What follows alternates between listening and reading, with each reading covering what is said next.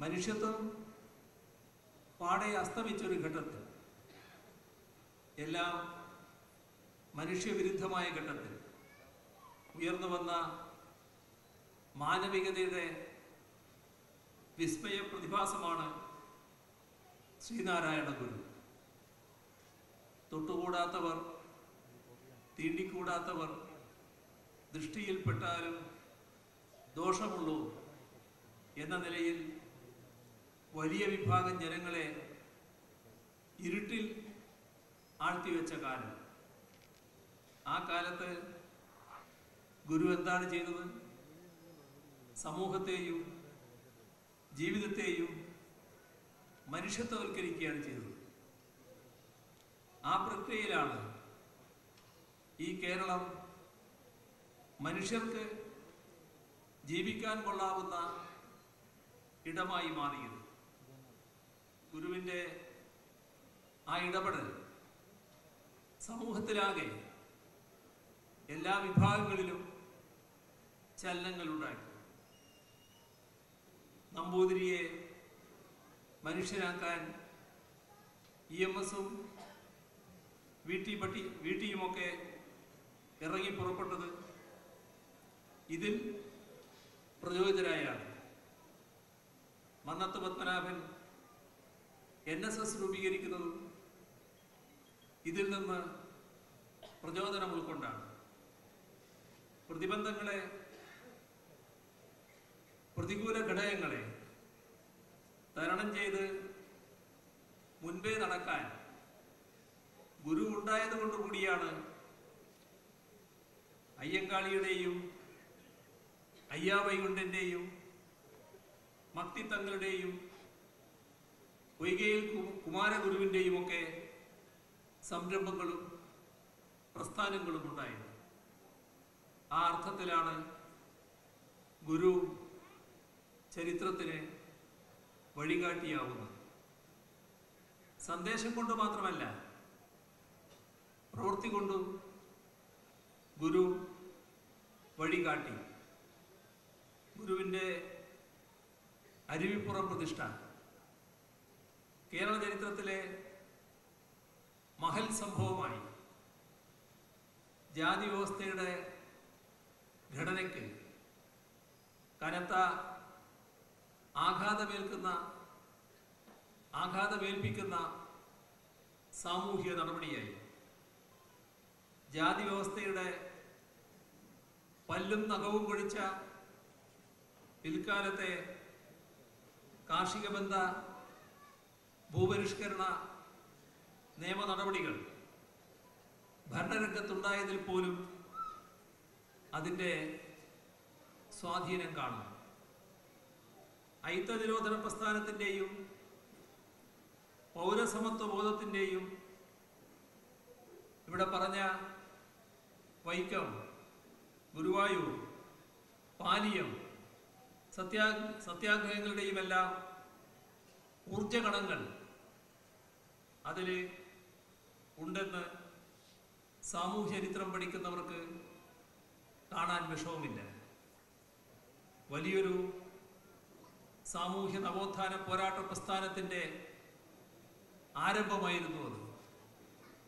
അതുകൊണ്ടാണ് V T Bhattathiripad ഗുരുവിന്റെ ജീവിതാനുഭവങ്ങൾ ഓരോ കേരളീയ കുടുംബത്തിലെയും കിടാവിളക്കായി പ്രശോഭിക്കണം എന്ന് പിന്നീട് രേഖപ്പെടുത്തി വെച്ചത്. ഗുരുവിന്റെ സന്ദേശങ്ങളും പ്രവർത്തികളും ചിന്താമണ്ഡലങ്ങളിൽ മാത്രമല്ല അലയൊലികൾ പടർത്തിയത് ജാതിരഹിതമായ ഒരു സമ്പ്രദായം സൃഷ്ടിക്കാൻ ഹൃദയത്തിന്റെയും മനസ്സിന്റെയും മാർഗം കണ്ടെത്തിയ മഹാനാണ് ശ്രീനാരായണ ഗുരു എന്ന് പറഞ്ഞത് പണ്ഡിറ്റ് ജവഹർലാൽ നെഹ്റുവായിരുന്നു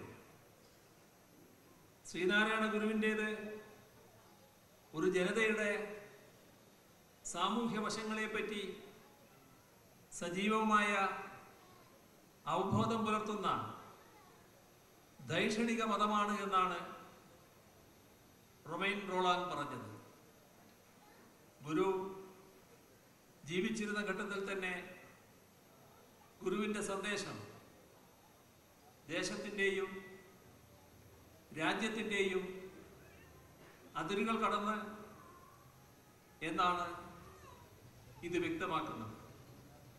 എന്നാൽ പിൽക്കാലത്ത് ആ സന്ദേശം ആ വിധത്തിൽ ലോകത്താകെ പ്രചരിപ്പിക്കുന്നതിന് കഴിഞ്ഞിട്ടുണ്ടോ? ഇത് വിമർശനാത്മകമായി പരിശോധിക്കേണ്ട കാര്യമാണ്. ശ്രീനാരായണ ഗുരുവിനേക്കാൾ മഹത്വമുള്ള മറ്റൊരു ഗുരുവിനെ താൻ ഇന്നേ വരെ കണ്ടിട്ടില്ല. എന്നാണ് പല മഹർഷിമാരെയും സന്യാസിവര്യന്മാരെയും കണ്ടിട്ടുള്ള മഹാകവി രവീന്ദ്രനാഥ ടാഗോർ പറഞ്ഞിട്ടുള്ളത്. ഇവരെയൊക്കെ ഇത്രമേൽ പ്രചോദിപ്പിച്ച വിസ്മയിപ്പിച്ച നമ്മുടെ ഗുരുവിന്റെ മഹത്വം നമുക്ക് വേണ്ട പോലെ മനസ്സിലാക്കാനും അത് മനസ്സിലാക്കി കൊടുക്കാനും കഴിയുന്നില്ലെങ്കിൽ അതാണ് ഗുരുവിനോടുള്ള അനാദരവ് ഈ ചിന്ത ഉള്ളതുകൊണ്ടാണ് സർക്കാർ നേരത്തെ ഇവിടെ പ്രസ്താവിച്ച ശ്രീനാരായണ ഗുരുവിന്റെ പ്രതിമ സ്ഥാപിച്ചതു മുതൽ ശ്രീനാരായണ ഓപ്പൺ സർവകലാശാല സ്ഥാപിക്കൽ വരെയുള്ള കർമ്മപരിപാടികളുമായി മുന്നോട്ട് പോകുന്നത് എന്ന് സന്ദർഭവശാൽ വ്യക്തമാക്കട്ടെ. ശ്രീനാരായണ ഗുരു യോഗി വര്യൻ മാത്രമല്ല മഹാകവി കൂടിയായിരുന്നു. ജാതിയെ ഉന്മൂലനം ചെയ്യുക എന്നതായിരുന്നു ഗുരുവിന്റെ പ്രധാന ദൗത്യം. ജാതി ഇല്ലായ്മ ചെയ്യുക എന്നതിനർത്ഥം ജാതികളെ പരസ്പര ശത്രുതയിലാക്കി ചില ജാതികളെ ഇല്ലായ്മ ചെയ്യുക എന്നല്ല. എല്ലാ ജാതി വേർതിരിവുകളും അവസാനിപ്പിക്കുക. മനുഷ്യത്വം സ്ഥാപിക്കുക എന്നതാണ് ഉദ്ദേശം. ആ അർത്ഥത്തിലാണ് അതിനെ കാണേണ്ടത്. ഗുരുവിന്റെ കാലത്ത് ജാതി മാത്രമാണ് ഉണ്ടായിരുന്നെങ്കിൽ വലിയ വലിയ തോതിൽ പുരോഗമനം നേടി എന്ന് അവകാശപ്പെടുന്ന ഈ കാലത്ത് ജാതിക്കൊപ്പം ജാതീയത കൂടി ഉണ്ടാവുന്നു. എന്താണ് ജാതീയത ജാതിയുടെ രാഷ്ട്രീയവൽക്കരണമാണ്.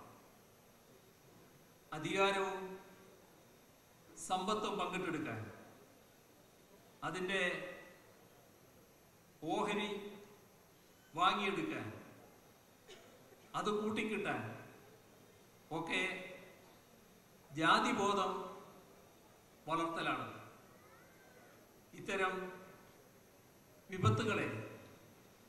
ചെറുക്കാൻ കൂടിയാണ് ശ്രീനാരായണ ഗുരുവിന്റെ ജാതി ഉന്മൂലനത്തെ ശരിയായ അർത്ഥത്തിൽ മനസ്സിലാക്കണമെന്ന് പറയുന്നത്.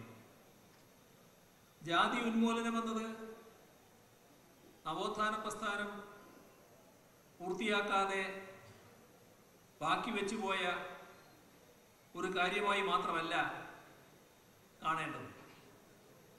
ദേശീയ തലത്തിലുള്ള വർഗീയതയുടെ രാഷ്ട്രീയം മുതൽ അന്താരാഷ്ട്ര തലത്തിലുള്ള സാമ്രാജ്യത്വ രാഷ്ട്രീയം വരെയുള്ള കാര്യങ്ങളുമായി അത് ബന്ധപ്പെട്ട് കിടക്കുന്നുവെന്ന് കാണണം.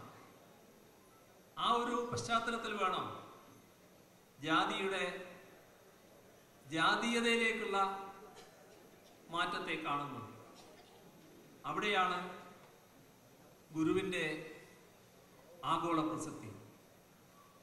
ആചാരങ്ങൾ കൊണ്ടും പ്രഭാഷണങ്ങൾ കൊണ്ടും മാത്രം സന്യാസിയായി തീർന്ന ഒരാളല്ല ശ്രീനാരായണ ഗുരു. സാമൂഹ്യ മുന്നേറ്റത്തിന് പ്രായോഗികമായ ആശയങ്ങൾ സംഭാവന ചെയ്തു. അത് പ്രവൃത്തിപഥത്തിൽ എത്തിക്കാൻ അദ്ദേഹം ശ്രമിക്കുകയും ചെയ്തു. അനാചാരങ്ങളെ എതിർത്ത ഗുരുവാണിത്. ദേവാലയങ്ങളല്ല വിദ്യാലയങ്ങളാണ് കേരള സമൂഹത്തിന് വേണ്ടതെന്ന് അദ്ദേഹം തിരിച്ചറിഞ്ഞു. വിദ്യ കൊണ്ട് പ്രബുദ്ധരാകാൻ അദ്ദേഹം ആഹ്വാനം ചെയ്തു. എല്ലാവർക്കും വിദ്യാഭ്യാസം ലഭിക്കുന്ന തരത്തിലേക്ക് നമ്മുടെ വിദ്യാഭ്യാസ സമ്പ്രദായത്തെ ജനാധിപത്യവൽക്കരിക്കാനായി അദ്ദേഹം നിലക്കൊള്ളു കേരള സംസ്ഥാനം രൂപം കൊണ്ടതിന് ശേഷം ആദ്യമായി രൂപീകൃതമായ ആയിരത്തി തൊള്ളായിരത്തി അൻപത്തി ഏഴിലെ ഇ എം എസ് നേതൃത്വത്തിലുള്ള ഗവൺമെന്റ് തൊട്ട് ഇവിടെ ഇടതുപക്ഷ സർക്കാരുകൾ നടപ്പാക്കിയത് ഇതിന് കരുത്തു പകരുന്ന നടപടികളാണ്. അൻപത്തിയേഴിൽ വിദ്യാഭ്യാസ ബില്ലിന് തുടക്കമിട്ട് വലിയ തോതിൽ വിദ്യാഭ്യാസ പരിഷ്കരണം നാട്ടിൽ കൊണ്ടുവന്നു. കഴിഞ്ഞ രണ്ടായിരത്തി പതിനാറിൽ അധികാരത്തിൽ വന്ന സർക്കാർ പൊതുവിദ്യാഭ്യാസ സംരക്ഷണ യജ്ഞം നടപ്പാക്കി. കേരളത്തിലെ പൊതുവിദ്യാലയങ്ങളെ മികവിന്റെ കേന്ദ്രങ്ങളാക്കി മാറ്റി. ഇപ്പോൾ വിദ്യാകരണം പദ്ധതിയിലൂടെ അത് തുടരുന്നു.